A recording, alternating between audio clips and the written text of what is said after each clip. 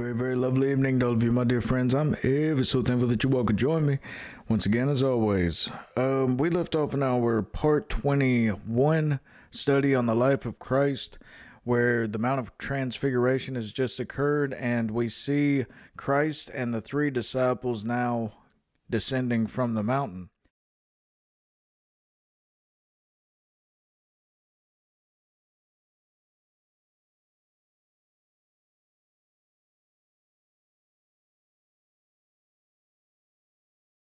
And it came to pass that on the next day, when they were come down from the hill, much people met him, Jesus. And behold, a man of the company cried out, saying, Master, I beseech thee, look upon my son, for he is mine only child. And lo, a spirit taketh him, and he suddenly crieth out, and it teareth him, that he foameth again at the mouth, foaming at the mouth, and bruising him hardly, departeth from him.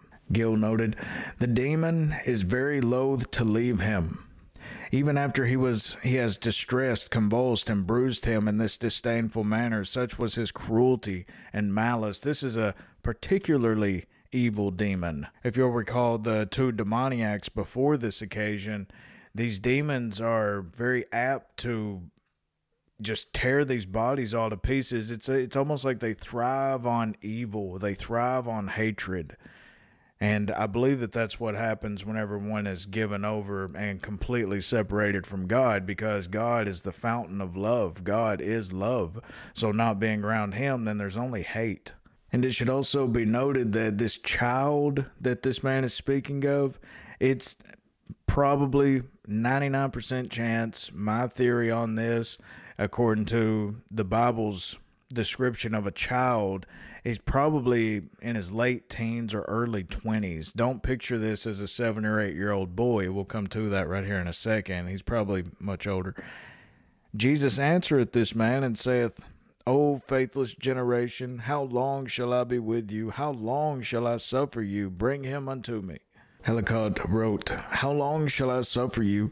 The words are significant, as suggesting the thought that our Lord's whole life was one long tolerance of the waywardness and perversity of men. McLaren noted, They had shown that they were not fit to be trusted alone, the people. He had been away for a day up in the mountain there, and though they did not build an altar to any golden calf like they did in the days of Moses, like their ancestors when their leader, Moses, was absent, still, when he comes back, he finds things all gone wrong because of the few hours of his absence. What would they do if he were to go away from them altogether? No wonder they're called lost sheep.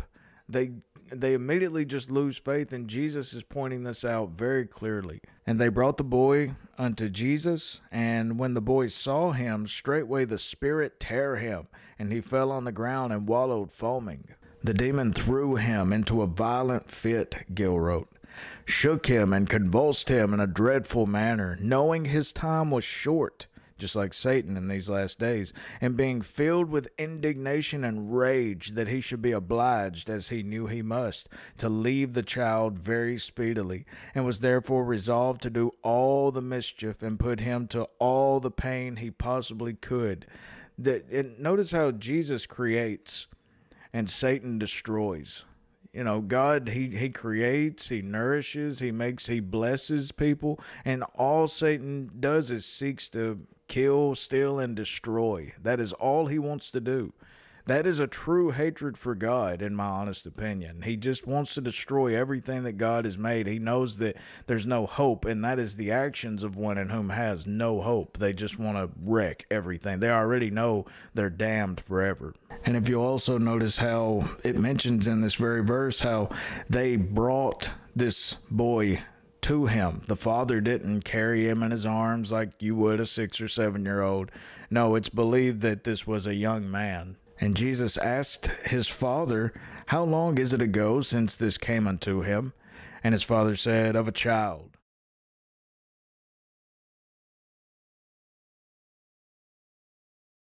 And oft times it hath cast him into the fire and into the waters to destroy him. But if thou canst do anything, meaning if you can do anything, have compassion on us and help us. Notice it says, have compassion on us and help us. Jamieson Fausset Brown Help us, says the father, for it was a sore family affliction. Compare the language of the Syrophoenician woman regarding her daughter. Lord, help me. You know, her daughter was the one possessed, but she was saying, you know, it's it's not just that Satan wants to destroy an individual. This this completely disrupts the entire family unit. Everyone lives in a state of darkness whenever this kind of evil comes upon an individual. But I do believe that Benson kind of lays out the father's mode of thinking right here. The afflicted father, greatly discouraged by the inability of our Lord's disciples and dispirited by the sight of his son's misery and by the remembrance of its long continuance, was afraid this possession might surpass the power of Jesus himself. It's to the point of no hope, and Jesus sees this very lack of faith. Jesus said unto him, If thou can believe, all things are possible to him that believeth. And straightway the father of the child cried out and said with tears, He yells this. This is a sore vexation. Lord, I believe. Help thou mine unbelief. He knows that the Lord sees that he doesn't really believe as much as maybe just a little. David Guzik noted, in this case, the man's unbelief was not a rebellion against or a rejection of God's promise. He did not deny God's promise, he desired it. However, it just seemed too good to be true, and this is the case with so many of us. Thus he said, Help my unbelief. He knows that it's lacking and he wants to do something about it. This isn't him rejecting the thought that maybe Christ would he's he just knows that there's a war within himself, like all of us. When Jesus saw that the people came running together, he rebuked the foul spirit, saying unto him, Thou dumb and deaf spirit, I charge thee, come out of him and enter no more into him. Catch that. He says, Enter no more into him. This is said with regard to the devil, who would be desirous of repossession. Christ even speaks of this in another time, and also with respect to the father of the child, to confirm his faith in the cure, and that he might be in no pain about the return of the disorder. It's one thing to cure someone, it's another thing to let others see you cure him and to say this will not happen anymore. That anxiety of it reoccurring could still rest upon you every day for the next year or two. You're probably going to wake up and think, "Oh no, it this could be." If he has any outbursts, you think it's coming back. So this is a great. Um, bit of mercy and grace on Jesus' part. And the spirit, the demon, cried and rent him sore and came out of him, and he was as one dead, insomuch that many said, He is dead. The malignant, cruel spirit, now conscious that his time was come, gathers up his whole strength with intent by a last stroke to kill his victim. No doubt he was trying to kill the, the poor boy and had nearly succeeded, but the Lord of life was there. But Jesus took him by the hand and lifted him up, and he arose. Then came the disciples to Jesus apart, meaning away from the crowd, and said, Why could not we cast him out? And Jesus said unto them, Because of your unbelief. For verily I say unto you, if ye have faith as a grain of mustard seed, ye shall say unto this mountain, here's the famous verse, ye shall say unto this mountain, Remove hence to yonder place, and it shall remove, and nothing shall be impossible unto you. Now, for any of you in whom have tried doing this and seen that it did not succeed, I believe that Bengel gives the one of the best explanations for it. From this, it is clear that the transportation of a mountain is a less miracle than the ejection of a devil of the kind mentioned in the text. For the devil clings more closely to a man spiritually than the mountain to its roots physically. And faith, even the smallest, is more powerful than the fixture of a mountain. Now, that shows us a great deal about how much that a demon desires to possess a person. And I believe that a lot of it has to do with rest. Jesus says that whenever they're cast out of a man, they go into dry places, meaning, you know, places with no people. It's almost like the Lord Himself puts them where there is no one. Uh, oftentimes this is cemeteries or woods or deserts or someplace like that. But they go into these dry places and they seek rest and they find it not. So I believe that the only time that they actually get to rest is whenever they're embodying people. And uh, what kind of rest is for the wicked anyway? You will say, Why then is that miracle less frequent than the other? Answer A mountain is naturally by creation in its proper place. This is why you're not going to see a mountain be uprooted. Jesus is trying to make a far deeper point, as he always does. A mountain is naturally by creation in its proper place. A devil is not so when possessing a man. Wherefore it is more beneficial that the latter, the demon, should be cast out than that a mountain should be removed. The Lord set the mountain there, and if he found any reason for his will and you to cast it into the sea, then it would be appropriate to do, but otherwise it's in its place for a reason.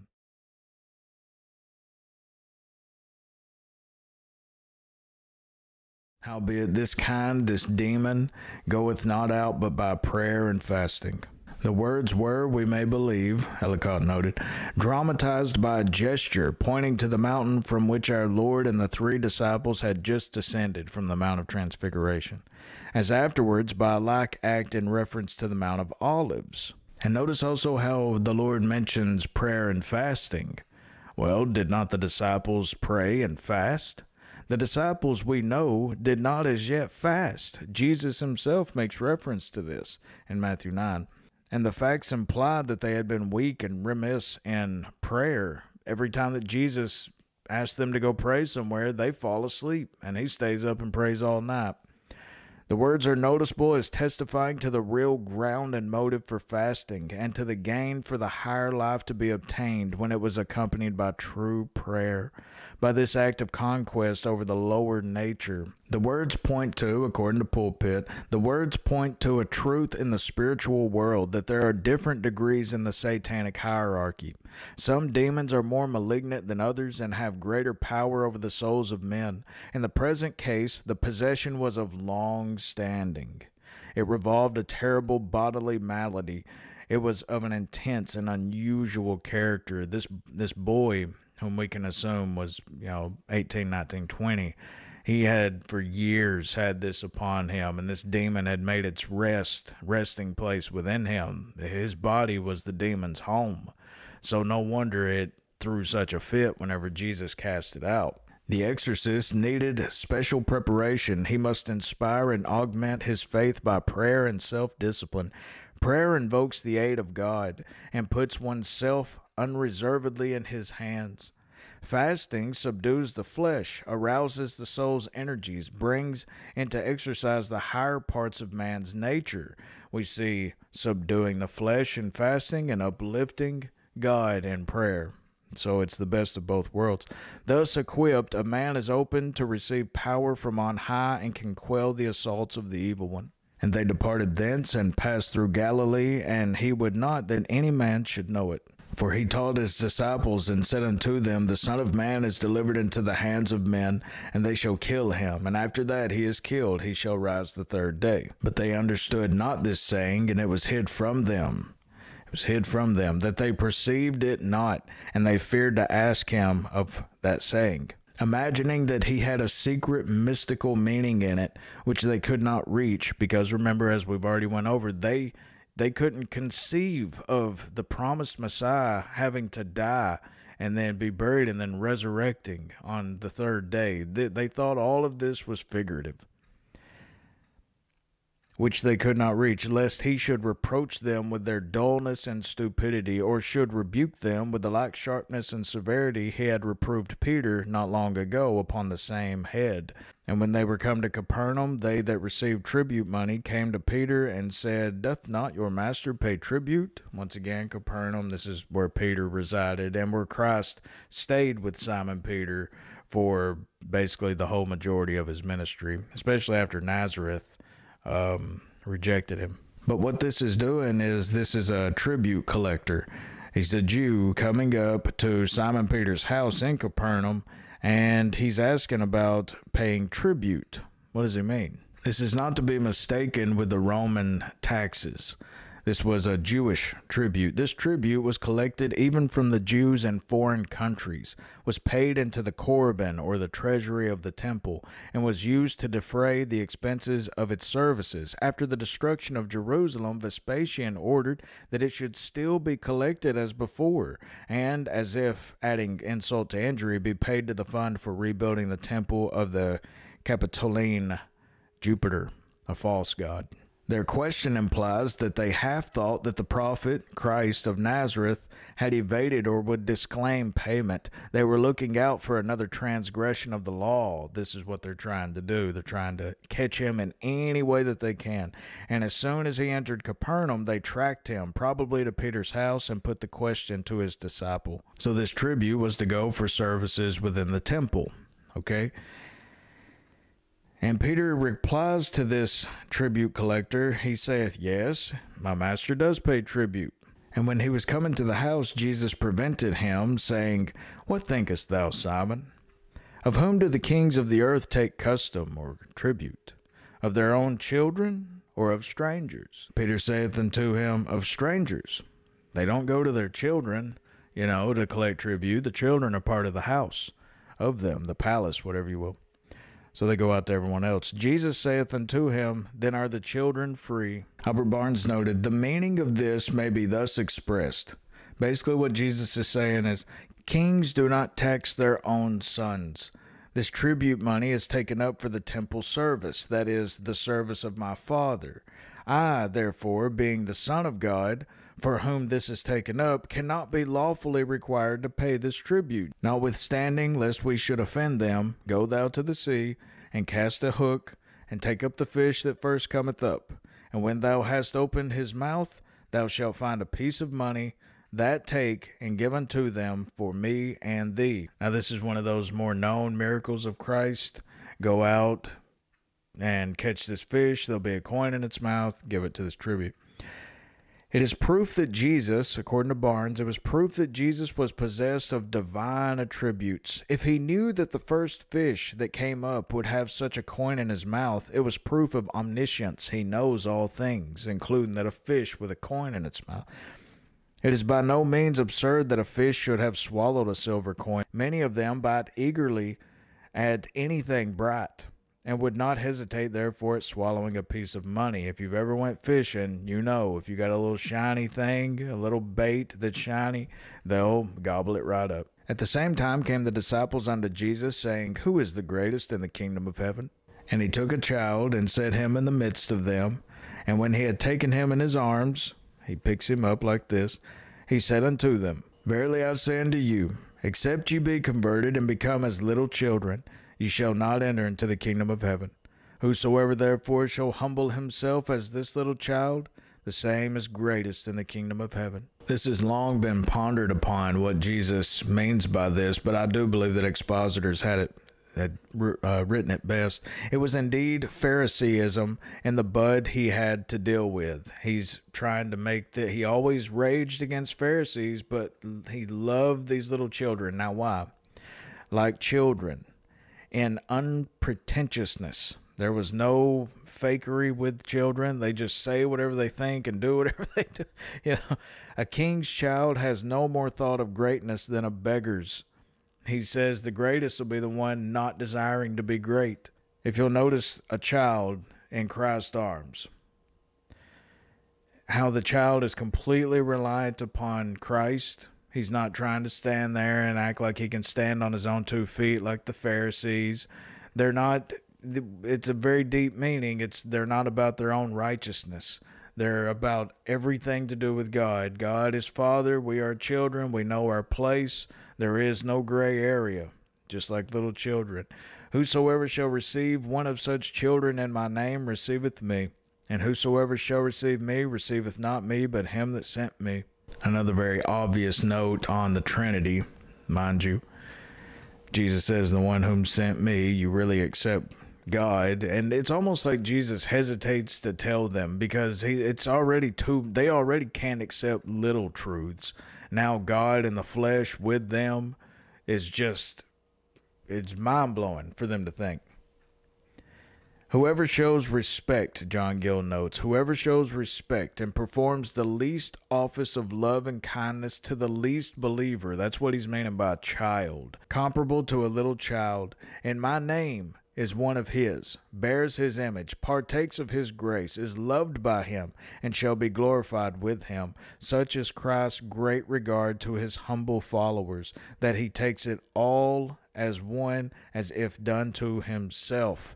He says, even the person with the least amount of faith in the kingdom of God, he says, you are treating them just like you would me, as we're all children of God through him. That's very, very lovely. He takes it personal if it happens to you. Never ever think if you're a Christian that you're alone. You are very much not, you're the exact opposite of alone, actually. And John answered and said, Master, we saw one casting out devils in thy name, and we forbade him, because he followeth not with us. And Jesus said unto him, Forbid him not. For he that is not against us is for us. Just like after we die, there is no purgatory, there's no gray place, there's no place in between. We are in the place in between heaven and hell. After we die, whoever you go to one or the other, and that is it. So he says, Whoever is for us is not against us. And it is with that, my friends, that we will stop right there. We'll pick up in this very same narrative going into, Lord willing, the next session. God a peace be with you all. Amen.